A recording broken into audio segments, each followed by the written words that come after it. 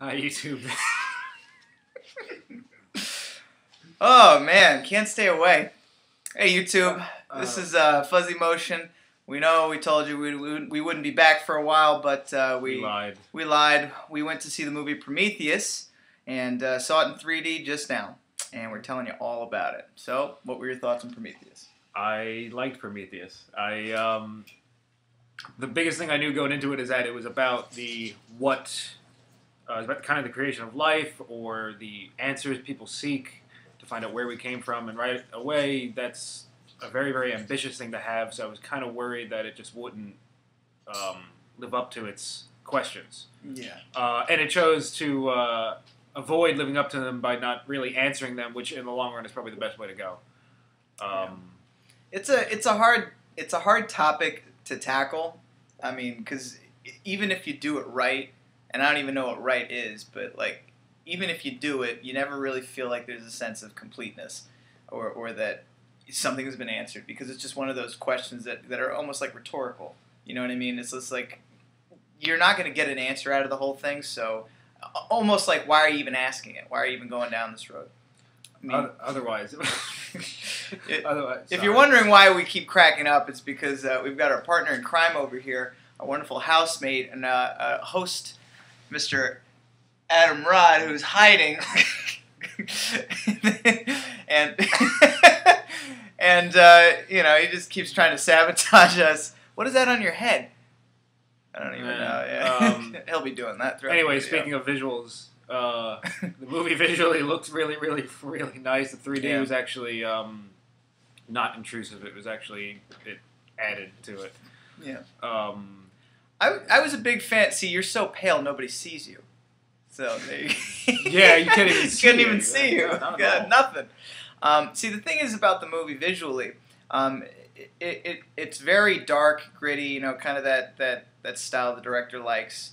Um, and when it came to the, the gore and the violence, it it really like had a lot in that department. I mean, I don't want to give any spoilers away, but there's a few things, and I'm a huge fan of gore. You know, Hellraiser, the old '80s slasher movies. There were a few things in there that I was just like, oh, oh, and I just I cringed when I saw it because it just it, it, it was it was very graphic and, and, and just very well done. Obviously, uh, you know, there's a scene where somebody's getting like a forced abortion from a, a surgery machine, and like, um, you know, they just show it slicing open her stomach and peeling it out. It's just like, oh god.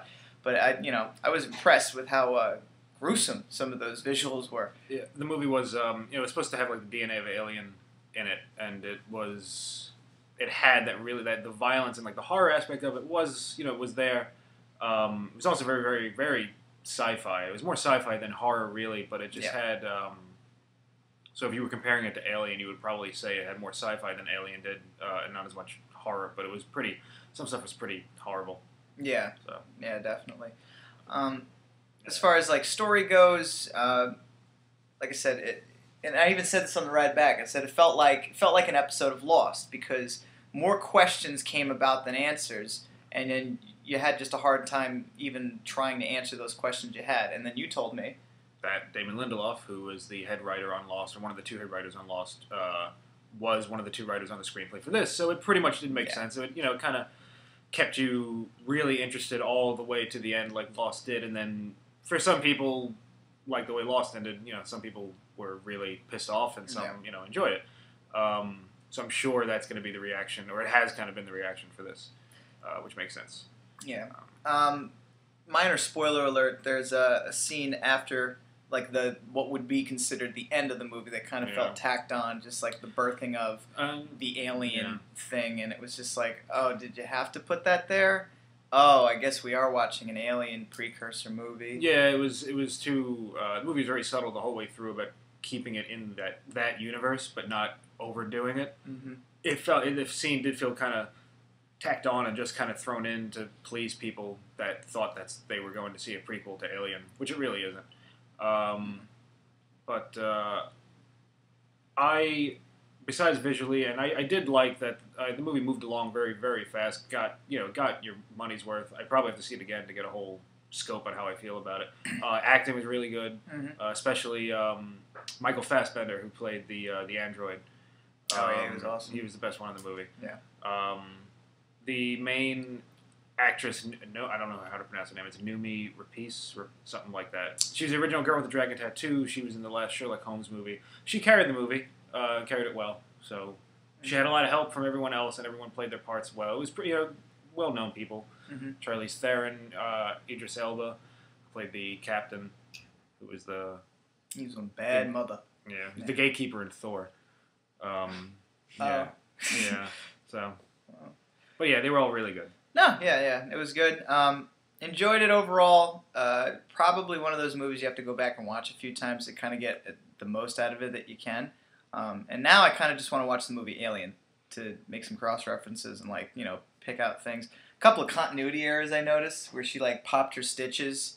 Remember after she got her um, her uh, her like She popped her surgery? She- she popped yeah, yeah exactly it was the forced abortion she um she ran out she had her thing she had her stomach stitched and stapled Yeah, and then she was running out into the hallway and then the next scene they showed they just showed like her stomach like hanging open without any of the staples I And missed then- that. I and then they see showed it again later with her stomach restapled so I i, noticed that. that. there was a there was a flub there there was like one other one i can't remember what the other one was That was bloodstain on the. That. Yeah. no yeah, no that I was her he's that was her He said stomach it was no bloodstain. I agree. I think it was blood bloodstain. Oh, see, uh, you have to watch it again for further review. So overall, I enjoyed it. Um, you enjoyed it. I enjoyed it very much. I probably on a rewatch, I probably enjoy it even more. Yeah. Um, again, for its two hours, I thought it was a. It was also you know, it's a big summer movie too. Summer movies are supposed to be you know a lot of fun. This one had the mix of being a lot of fun, but also, uh, again, the ambition uh, in it you know puts it I think at a higher rank than most of them. Oh, Um, real quick, previews. The previews. The previews movie, were terrible. awful. There were like six of them, Ugh. and uh, the only one that I thought looked marginally okay was the um, the Total Recall remake. Mhm. which annoys me to begin with, but uh, I'll save that for a different argument, I guess. Yeah. That's What, what was there? There, yeah. No, there was um, there was there was a lot of just just shit. That fucking dog. Oh yeah, that that stupid dog Disney movie, and I think I turned to you and I was like, I hate it when a preview has the entire like plot of a movie summed of up in a did. couple preview. of movies yeah. an entire plot. Oh, Yeah. the one one thing also, the one of the actors in the movie, Guy Pearce, who's play who was in uh, Memento, was awesome in this. Uh, I saw him in the credits, and then he plays this old, old, old man, and the guy appears in the first like half hour of the movie, and I wasn't sure if that was him or not. Uh, so I guess kudos to the makeup for for that. Um, but when I did figure out it was him, it was just I don't know. Um, yeah, so that's Guy Pearce. Anyone that sees it, Cool. there's no point to that. Sorry. Uh, Adam, what did you think of the movie?